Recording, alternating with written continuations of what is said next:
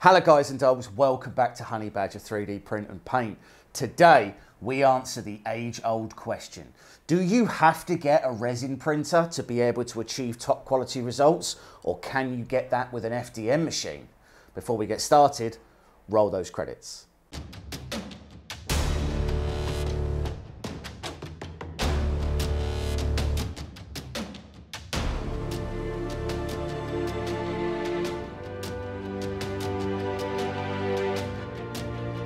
So, okay, we have printed two lightsabers, Mace Windu's and General Grievous. Now, most people will, will often say that if you want to get top quality results, top quality surface finish, top quality, you have to get a resin printer and you have to print your things in resin. Now, there are some problems with that. One, resin is significantly more expensive to buy, roughly double the cost per kilo of FDM, and resin printers are sometimes quite limited in size, where you can go and pick up a Sidewinder X1, for example, or their new X2 for around £400, and that will get you a 300 by 300 by 400 build volume. You'd have to go to something like a Phrozen Mega 8K at about £2,500 to get a still smaller build volume than that. So we pitched the two best printers we have against each other. We pitched the Phrozen Mega 8K against the Bambu Carbon X1. The 8K was printing at a 0.05 layer height and the X1 Carbon, believe it or not, was printing at a 0.08 layer height. Now, let's just be clear. There are some very obvious things straight out of the gate. This was considerably quicker than this one was. Um, the X1 took about six hours to print all of this. This was printed in sections, they both were, um, and, uh, and ultimately this took about three hours to print, so around half the print time. However, this is done in PLA and this is done in resin, so this is nearly half the cost. So before we stick any primer on these, let's take a quick look at what we're looking at with raw prints coming off the machine. Okay, so let's start with the General Grievous lightsaber. Unfortunately, I have had a little bit of overspray on this where it's been sitting on my painting desk and a little bit of blue went on the, uh, little bit of blue overspray ended up going on it. But we're going to prime this anyway, so that doesn't really matter. You can see that we've got almost no surface scarring from supports. This is incredibly smooth. It's done the circle perfectly. Everything went together really, really nicely. Super, super nice. And then we have the Mace Windu uh, lightsaber as well. Both of these models are from the Star Wars Patreon that uh, is part of the Wicked group. Absolutely stunning, went together really nicely. The one caveat I will make is that where you have significant overhangs, there is a level of support scarring on these. But surface texture wise, you can see there that this again has a beautiful shine to it. You've got all of the embossing there that came out really, really nicely as well. Um, really, really nice models, but also absolutely beautiful finishes. So as you can see, on the face of it, there really actually isn't that much difference in surface quality. But you're not just going to print them like this, you're going to want to paint them. So, first and foremost, let's get a primer on these prints. And we're back. So, I've had a slight wardrobe change because I had to wait for these to dry. Um, but now that these are primed, I can honestly say I am really, really impressed with how well FDM stacked up against the resin side of this. So let's go in nice and close and we'll take a look at the quality difference.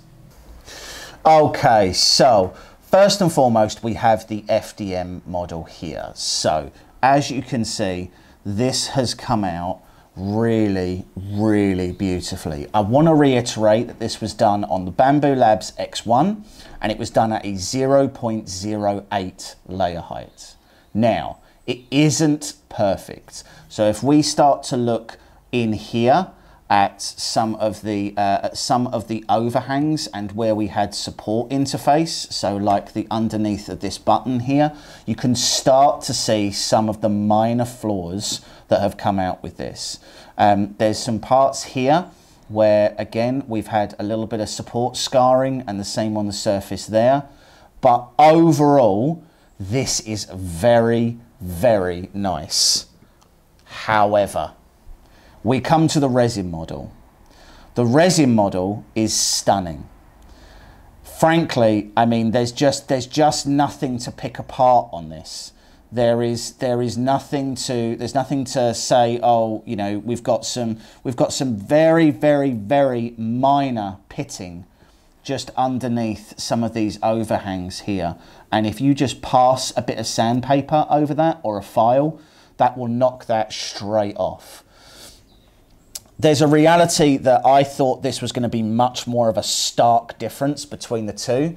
But I think if you actually look at the two of these, they're very, very comparable. So the resin model was done on the uh, Phrozen Mega 8K, and this was done on the uh, on, on the Bambu Carbon. Um, the the resin model was at a 0.05 layer height, and the layer height on the on this one was 0.08. I don't think there is that much difference between the surface finish of these two once you put a primer on them. Um, there is ever so slightly a little bit of Z banding right up here. I don't know if you can see it when I get in the light, but frankly, they are way closer than I ever expected them to be. So, what are the results really? I mean, look, you guys can judge for yourselves. Ultimately, when it comes to overhangs and support interface layers, you just can't beat resin when it comes to that.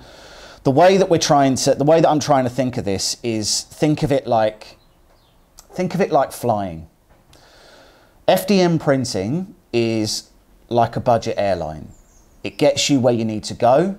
It's perhaps a little bit more aggro than it needs to be, but it'll get you there right? It's cheap, it's reliable, you're able to you you know you're able to get the results that you need. It just may not be that premium experience.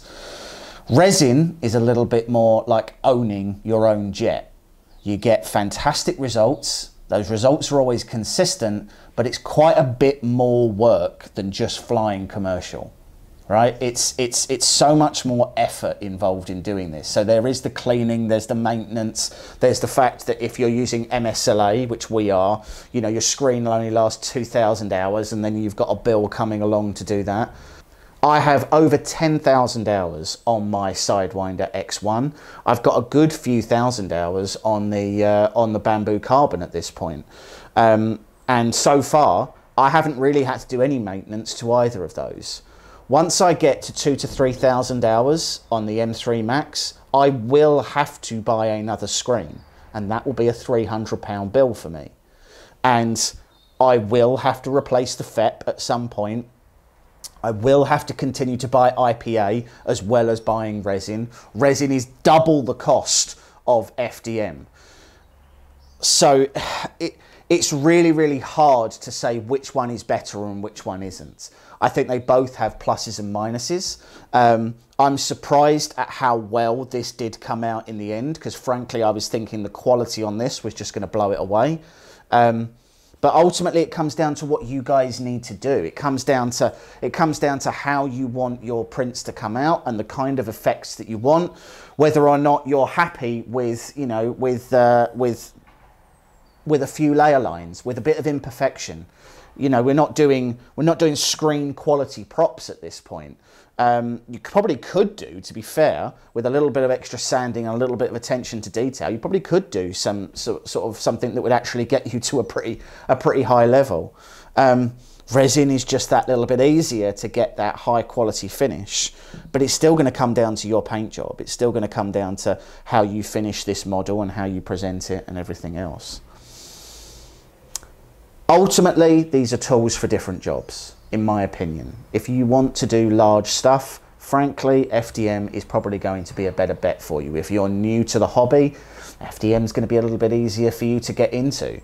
If what you're looking to do is highly detailed miniatures or highly detailed props that aren't, you know, that aren't things like the giant axe from um, from God of War, then resin printing may be the way for you to go. It's going to be a little bit more expensive. It's going to be a little bit more messy, but ultimately, I like having both. I like having a blended approach.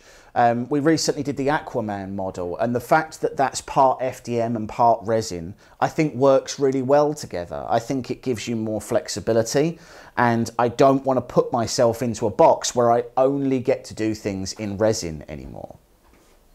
So that's it. I don't really think it's much of a surprising result, I suppose. It's horses for courses, tools for a job.